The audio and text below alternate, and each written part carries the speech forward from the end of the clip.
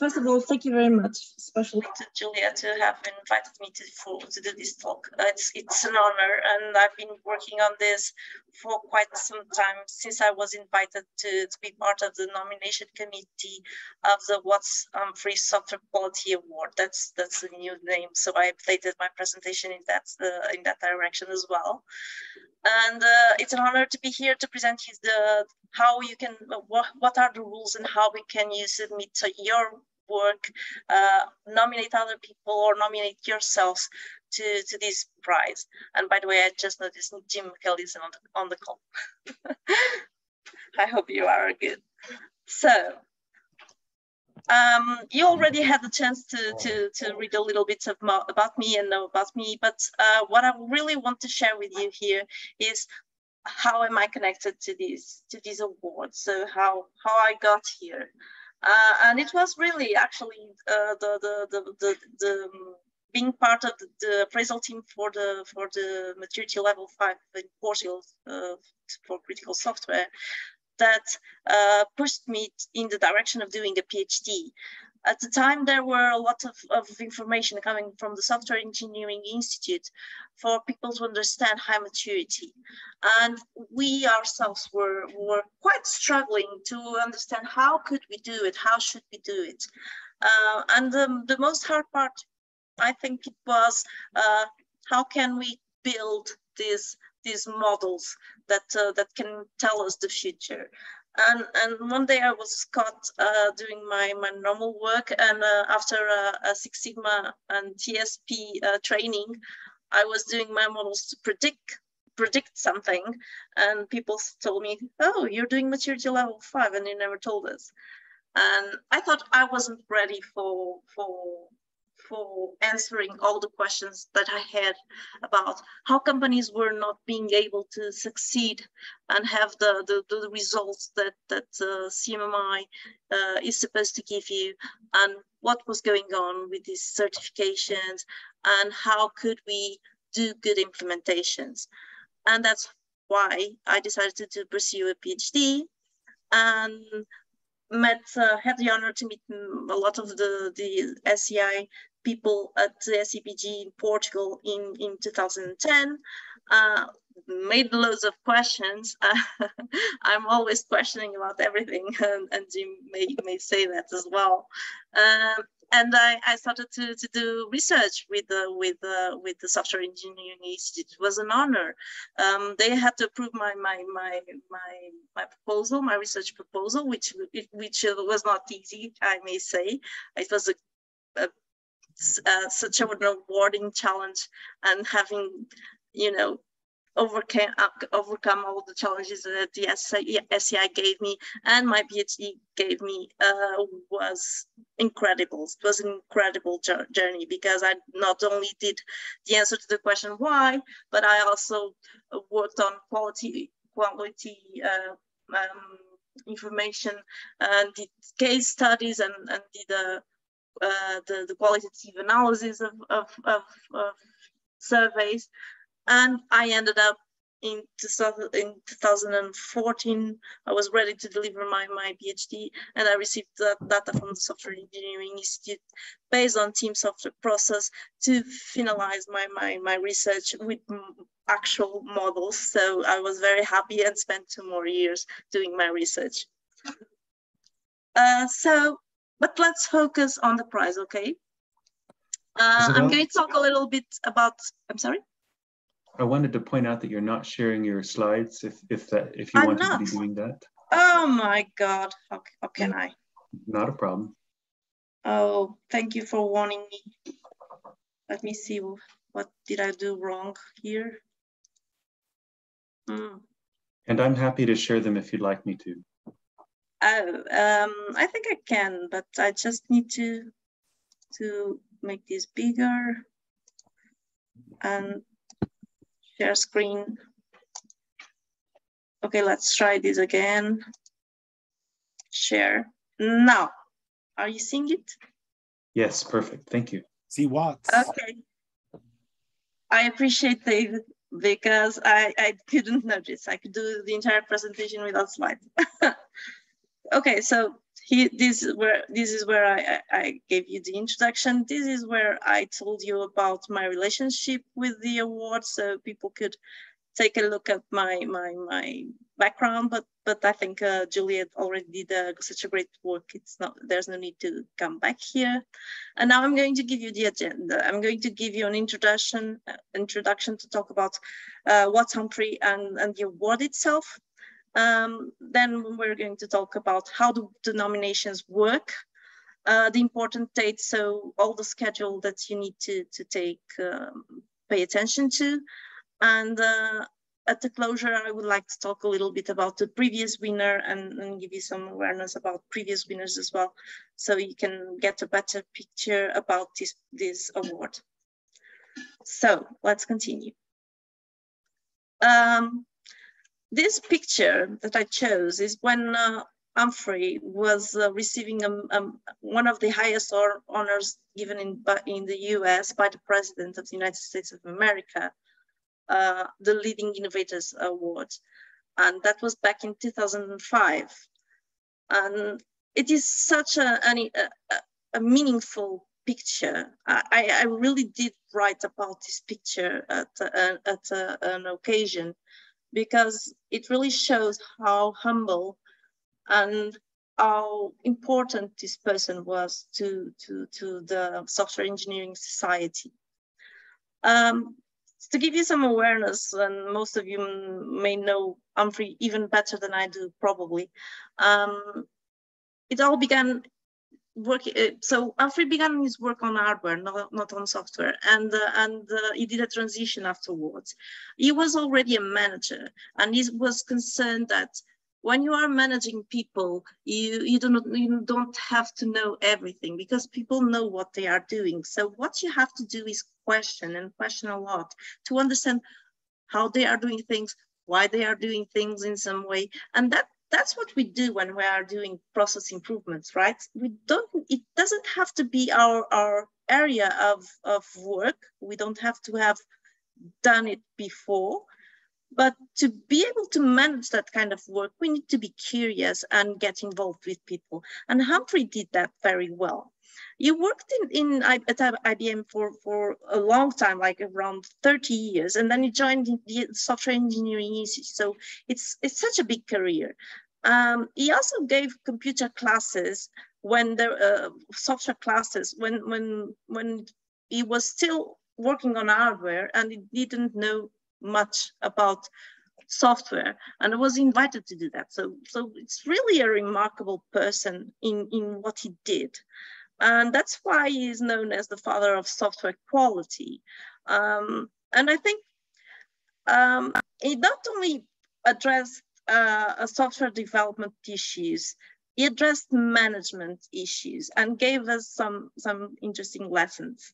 And from what you were saying about the, the at the beginning of the talk, that you were talking about the framework of personal uh, process uh, for for instead of team software process, um, that's actually something that I find to um, some I find it very important too, and and wrote about it uh, at some points as well uh, in another context. Just to say, because I was doing it in my at my job when I was not developing software, and decided it was applicable to everything. And I did an example with uh, with a revision of, of, of papers. So he's a great person. Uh, and a humble man. And he was able to identify best practices for software engineering. He laid out the ground for CMM and CMMI. He created in some sort of way PSP, have, uh, worked with Jim Over to evolve, to, to evolve it. Uh, he was working on TSP as well. He wrote around 60 computer programs to show that CMMI could be done uh, in, in, in, in all maturity levels while creating TSP. Um, furthermore, he received lots of honors that, that are very well deserved, like being an SEI uh, fellow, ACM fellow, um, got a, a, a, honorary doctorate. Uh, he, he, he, was part of many, many uh, publications and journals. He did, he published many books. He have the 12 publications mentioned here. So he gave a great contribution for the society. And it was not necessary for him to leave us to start being uh, recognized at a different level. And this award that we are talking about was created in 1994 and is given by the IEEE Computer Society and Software Engineering Institute. And this is for outstanding achievements in improving ability to create and evolve high quality software dependent systems. And this is quite remarkable. So as I was telling you in the beginning, I was uh, I was invited to be member of the of the voting committee, which is quite an honor. Um, and I'm very happy that the Software Engineering Institute remembered my name.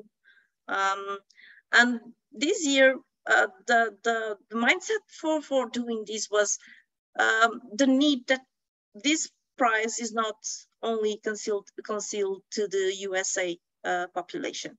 It's a prize that should be given to anywhere, to anyone in any part of the world. And with this mindset, people were invited from other countries, like uh, Pat Kerben was coming from, was invited from the from from Germany. I was invited from Portugal. There's there are people invited from South Africa, uh, people from Mexico, people from from many other places uh, that can give us a distribution of, of people uh, as voting members and helping other people do the submissions in order to to to to to make the world the world this award available to the world for them to to be able to submit as well so we are here to ask for support nomination, clarify about the award, help people do the submissions when they have questions. Um, and then there will be a time where we will be evaluating the work that people done on each submission, help interview uh, the award finalists and draft uh, the review award uh, recommendation report. So the as Computer Software Society uh, member and the Software Engineering Institute member may be able to then uh, decide who shall be the winner or the winners. There was a year that there were two winners of this award. So what what is what are the criteria that are involved here? Uh, it, it this this means that this award has to have an impact and and it, it's not trivial. So you do the the, the process improvement, uh, software process improvement, and you're concerned with with uh, with quality, but you want to be able to show that impact on the organization's processes, on the outcomes of that of, of, what of the work that you do. Also, you need to, data to prove that that that that that it actually happened and how it happened and to be able to measure how uh, the, the impact itself. So you, you establish your goals, you, you set your metrics, uh, your factors, and you collect your, your beginning, uh, the begin at the beginning of the project, you, you start collecting information, then you do the, the, the, the, um, the, the changes, and you can, you can see the, if it improves or not, and also be able to establish cause effect relationships in, in, a, in, a, in a sustained way. So this is also something that needs to keep going.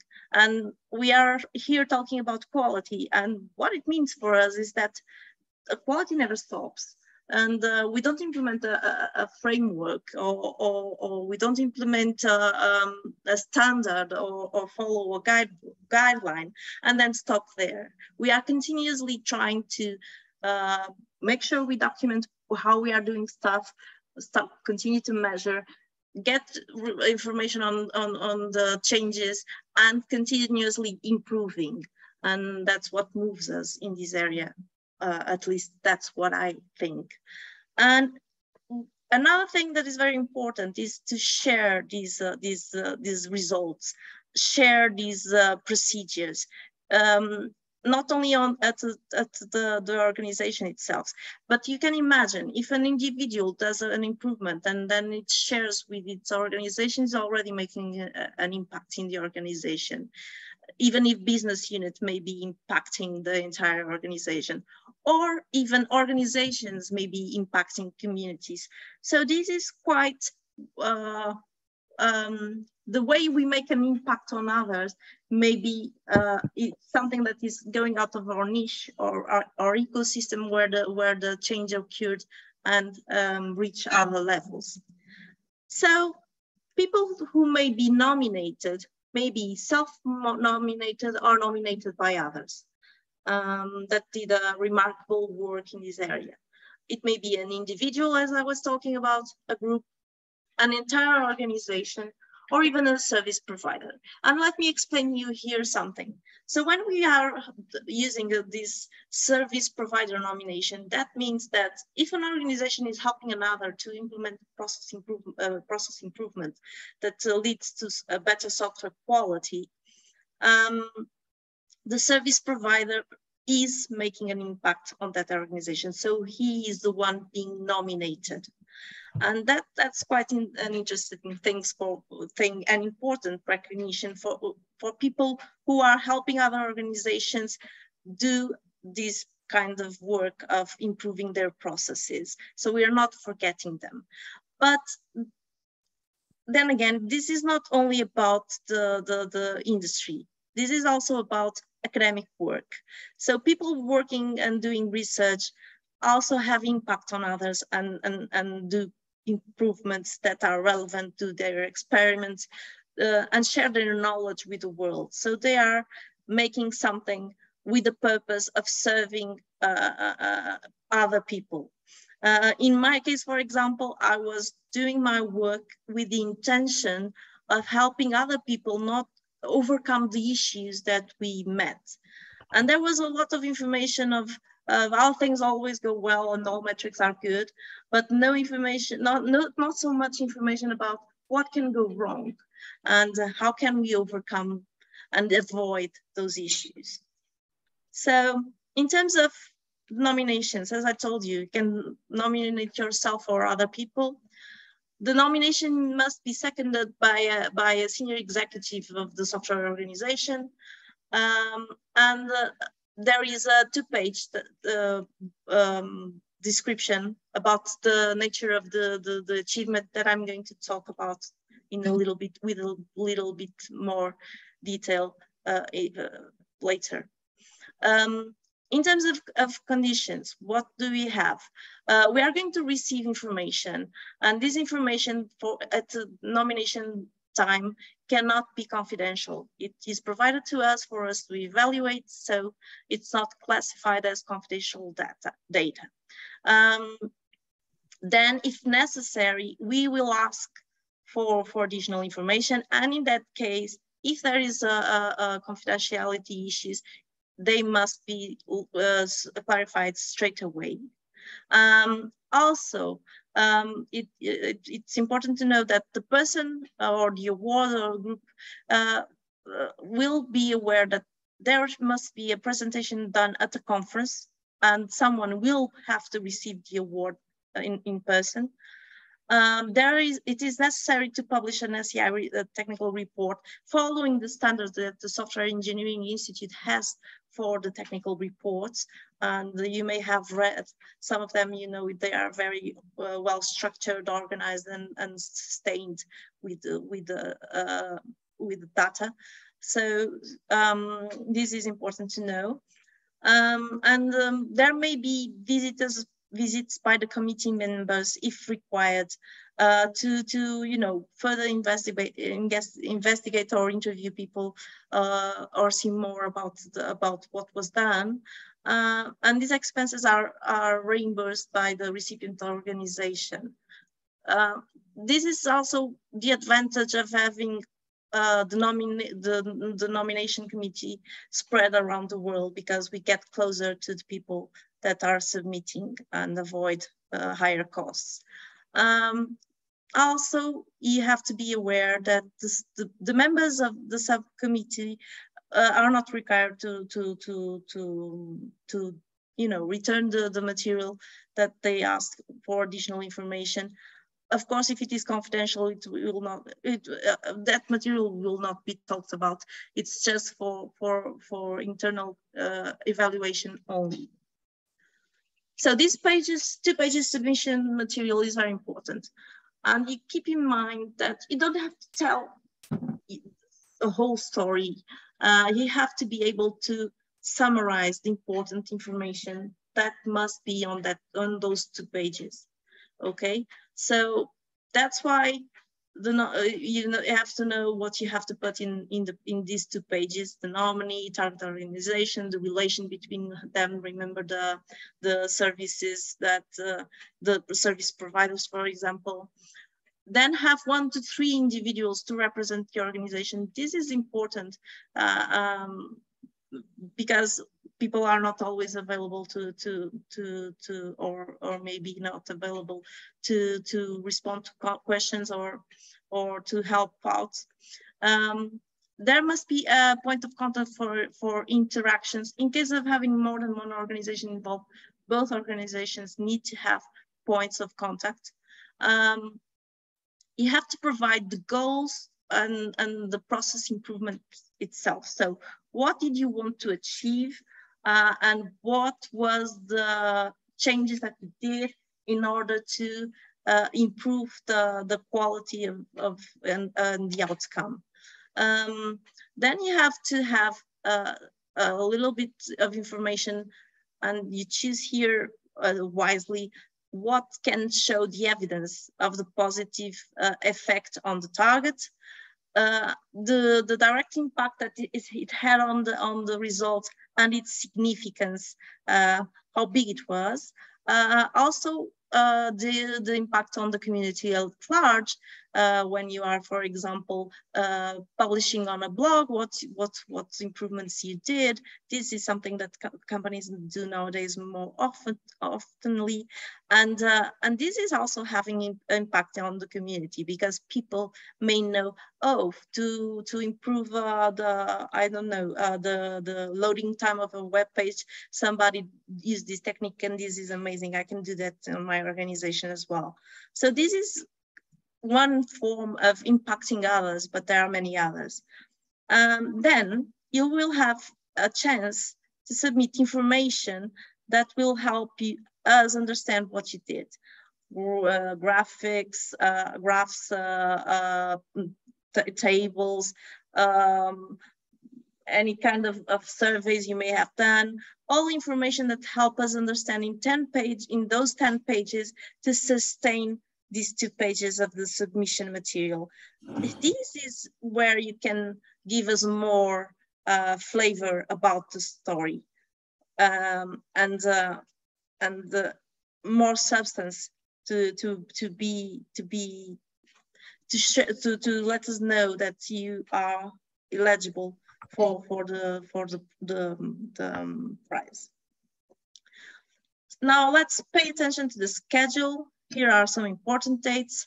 Uh, the deadline for nomination is already announced everywhere, so it's the 1st of September, and then we are starting to begin our, our reviews, uh, and then we'll have a time uh, to ask for, for our nominees or, or, or prospect nominees um, additional information if we need, or uh, may su uh, uh, already suggest people what they may do to imp improve their job work and do a future submission if the work is not yet uh, at uh, at a state that that allows us to to give the prize this year.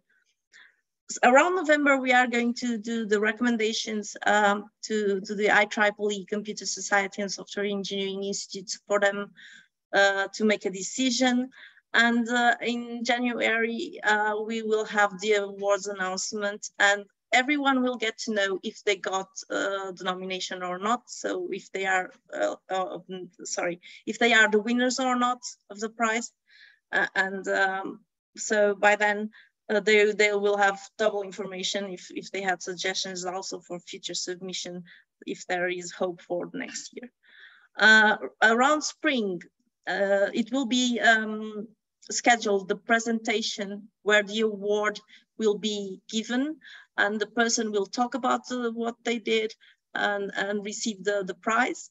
Uh, and then between January and June, we'll be there to help you um, to prepare the, soft, the, the, the report in the Software Engineering Institute uh, format to be, to be made available public, publicly. So uh, in 2020, we had a, uh, I hope I say his name correctly, uh, Rajendra Prasad. Uh, uh, he did a global automation at, uh, at, um, at Accenture. He was actually the global automation lead. And um, I provide here the link for, for the technical report that he, were, that he wrote and the pod, podcast that was done to, to talk with him about the, the prize that he, that he won. So this was um, a five-year journey that they did to, to transform software development and, um, and the way they, they, they, they delivered software to have intelligent automation and intelligent technology assets. This is like an end-to-end -end automation framework with the practices, technology, and, and, and it is used across Accenture. Um, so the challenge was to uh, implement something that was ready for the changes that we'll have in the markets in the future um, and uh, be able to, to, do, to be more mature and do automation throughout the software engineering life, life cycle and this is at speed and scale. So imagine this kind of framework is already giving you what, what you need when you have to, to achieve a, a maturity level five in a, in a quite, uh, um, um, you know, automatic way. Uh, this will also re help realize the, the potential of automation and, and bring value to businesses. It's, it's like uh, the, the, the, machine and the software becomes a, um, an extension of the human and the human capabilities are extended uh, in a collaboration that allows to, to, to reach a different level of capability that you we wouldn't be able to have on our own.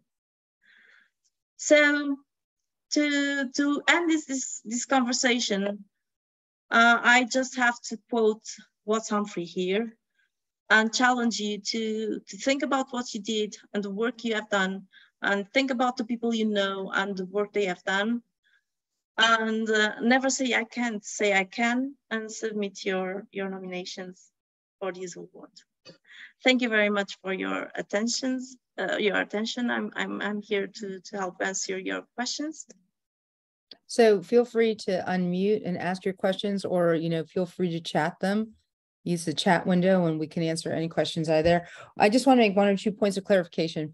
One, um, instead of presenting at a conference, we sort of have changes uh, uh, in the COVID era. And so now the winners typically do a webinar.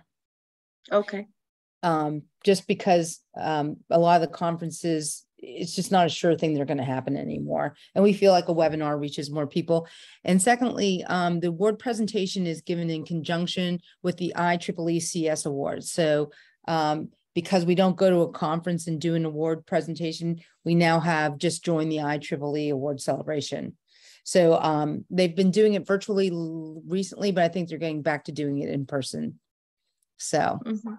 Thank you for the clarification, Julia. Oh, no problem. And I also want to recognize Fernando. Um, he is also on the committee as well. So, and he's been on it for several years now. So, congratulations, Fernando. Thank you. Thank you. So, any other questions? Um, um, I, I, any? Yes, I think, please. Yes, please. Uh, Isabel, you you mentioned some hyperlinks on your slides. Would you be mm-hmm. able to post those in the chat or make them Um, available? I can post those on the chat, but my idea was to, to share the PDF and the, the, they are clickable. I'm not sure if I Great. can, right ahead, I, I can't post them on the chat. But when I close the presentation, I'll try to do that if you want me to, please. Whichever way it works. Okay, Thank you. I'll, I'll do it. One Thank other you. thing I'd like to point out as well is that when um, the winner does a technical report, there's a lot of support from the SEI in developing that report. So um, that's something that the committee and the SEI editorial staff um, spend a lot of time working with the winner to to do that report because writing an SEI technical report is a pretty big undertaking. It's it's um they're they're you know they they're long lasting and they're they go through a lot of review. So um, if you do nominate yourself or if there's someone you're interested in nominating, let them know that they will have help with the webinar slides and with the writing of the technical report. One other thing I'll point out too that was unusual, like so um, when Rajan won, he was the first individual to win the award. Um, and so like the award has always been advertised as open to an individual, a team or an organization, but that was the first time since 1994 that the award actually went to an individual. So that was pretty exciting for us. That's a great, a great. And I didn't know about that. Yeah. Quite an honor, I'd yeah. say. So the, the deadline is coming up soon. And there's um, a lot of materials that you can send out to people that you think might be interested. We can ask um, David Tuma to include maybe links to some of that stuff um, in the meeting minutes. Uh, there's uh, some flyers or links to videos and things like that. Um, but if you know of anybody, we really want to encourage you to, you know, really encourage people to submit because, as I said, it's so important in our industry to recognize people that are striving for high software quality in these software intensive systems. So I, I, can't think of anything more important that we need to be working on. Mm-hmm. And I can also uh, tell you that at least one nomination, and I'm aware it's going, it's coming from Portugal. I'm quite happy about that because I was only able to give a talk in Portugal, and I was hoping to give more than one. And um, there is a group already preparing their self-nomination. And they are also thinking about nominating some people from Brazil as well who did excellent work as well. So um, I'm seeing some people moving and, and that that gets me really happy because it's paying off the work yeah. we have And I really want to thank Isabel for all of her hard work. She has done a tremendous amount of work promoting this and making people aware of the award and what's involved in the nomination process. So we really thank her. And having this recording on the SEA website, I think, is also a really great asset for um, this award.